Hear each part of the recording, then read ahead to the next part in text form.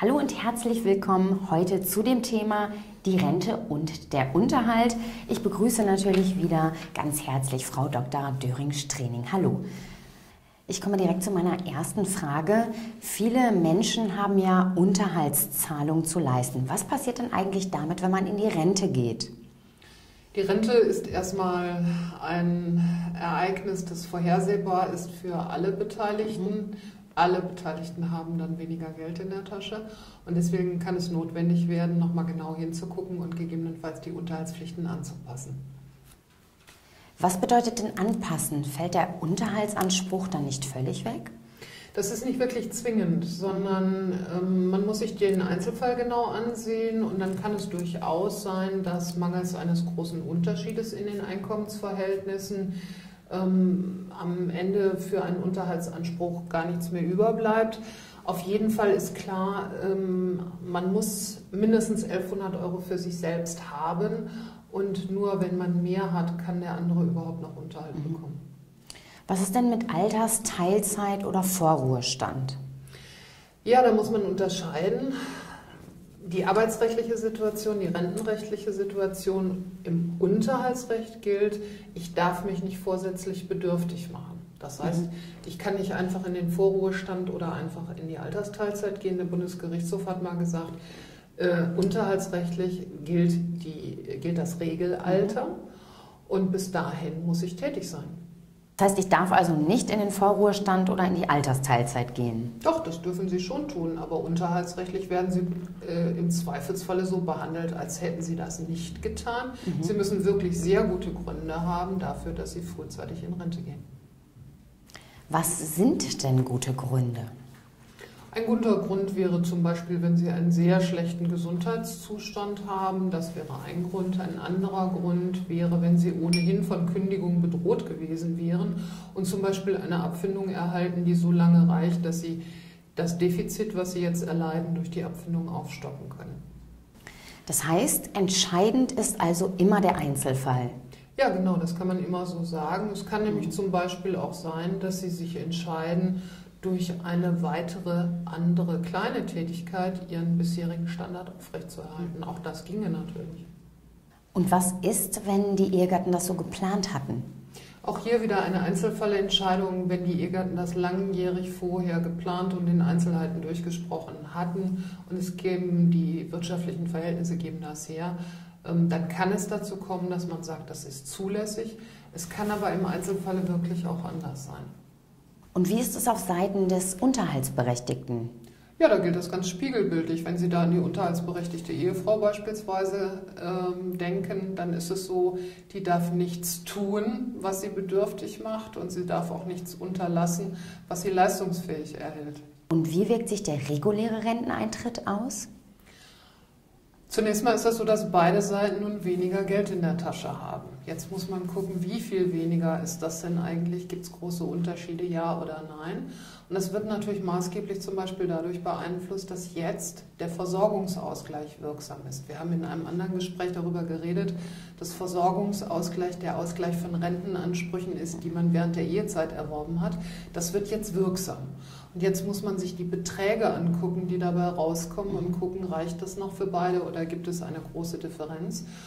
Und ganz häufig ist das so, dass es für einen von beiden nicht mehr reicht und für den anderen eben auch nur so weit reicht, äh, wie sein Selbstbehalt reicht. Und dann kann es sein, dass einer von beiden ergänzende Sozialhilfe in Anspruch nehmen muss.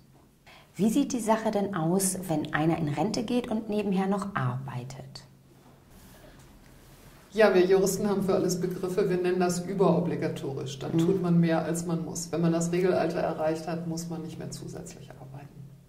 Und bleibt dieses überobligatorische Einkommen denn bei der Unterhaltsberechnung außen vor? Der Bundesgerichtshof sagt, es ist eine Frage des Einzelfalles. Frau Dr. Döring-Strening, können Sie denn das unseren Zuschauern mal etwas genauer erläutern?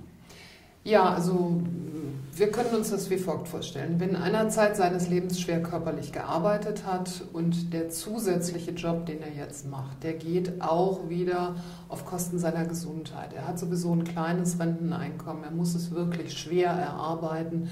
Es ist eine große Belastung für ihn, zusätzlich Einkommen zu erwirtschaften. Dann wird man eher dazu kommen, nichts anzurechnen.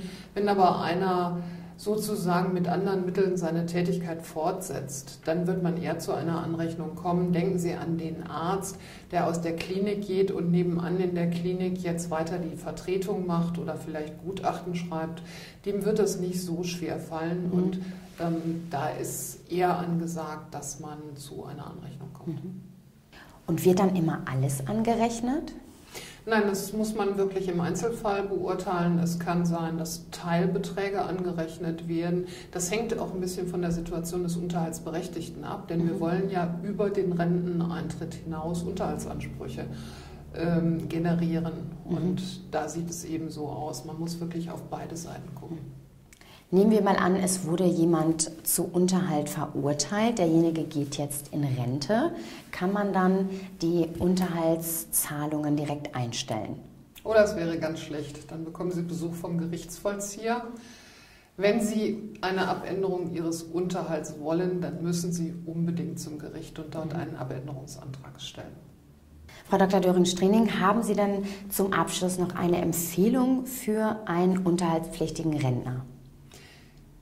Ich hoffe, ich konnte deutlich machen, Unterhalt und Versorgungsausgleich sind ein ziemlich heikles Thema, ein ziemlich undurchdringliches Dickicht.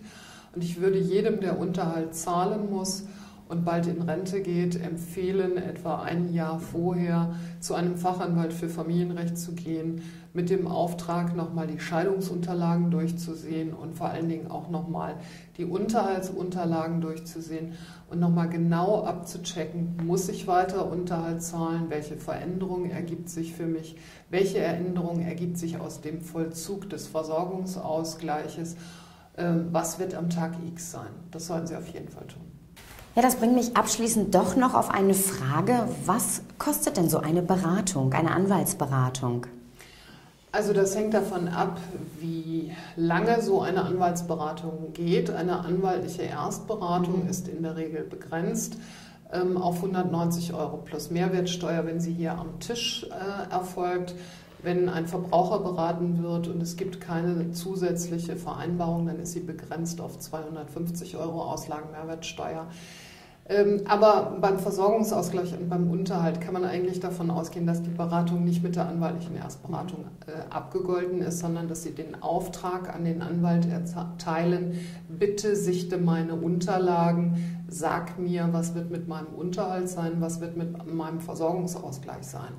Und wir können da gerne mal reinschauen. Ich habe hier unten ähm, meine Gebührentabelle. Anwälte rechnen nämlich bei Ärzte, wenn nichts anderes vereinbart ist, ähm, nach festen Gebühren ab. Mhm. Sie sehen, das ist hier so eine Art Gebührenkalkulator. Und hier können Sie beispielsweise sehen, das ist die sogenannte Beratungsgebühr. Und Anwälte rechnen nach Werten ab. Hier stehen mhm. also jetzt die Gegenstandswerte. Und aus dem Unterhalt, in der Regel aus dem zwölffachen Wert des Unterhalts, um den es geht, wird die Gebühr berechnet. Wenn Sie also 500 Euro Unterhalt zahlen, mhm. dann ist der Wert, aus dem die Gebühr berechnet wird, 6000 Euro. Und dann sehen Sie also in dieser Gebührentabelle nach, was kostet die Beratung, was kostet eine Vertretung nach außen, was kostet ein Gerichtsverfahren. Und vereinfacht gesagt, das Grundprinzip ist, kleine Probleme, kleine Anwaltsgebühren, große Probleme, größere Anwaltsgebühren. Und ist das allgemein so? Das ist so, wenn nichts anders vereinbart ist. Aber es gibt natürlich Alternativen. Es gibt die Möglichkeit, eine Vergütungsvereinbarung zu schließen und zu sagen, wir rechnen nicht nach dem Rechtsanwaltsvergütungsgesetz ab, sondern wir rechnen ab auf der Basis eines Stundenhonorars oder auf der Basis eines Pauschalhonorars. Jeder Anwalt wird Sie zu Beginn der Beratung in der Regel darüber informieren. Wenn Sie das nicht bekommen, fragen Sie sofort von Anfang an nach, ähm, damit da gar keine Unsicherheiten entstehen. Was kostet es für Sie? Frau Dr. Döring-Strenning, vielen Dank für das aufschlussreiche Gespräch. Dankeschön. Gerne. Liebe Zuschauer, auch bei Ihnen bedanke ich mich fürs Zuschauen und sage bis zum nächsten Mal. Tschüss.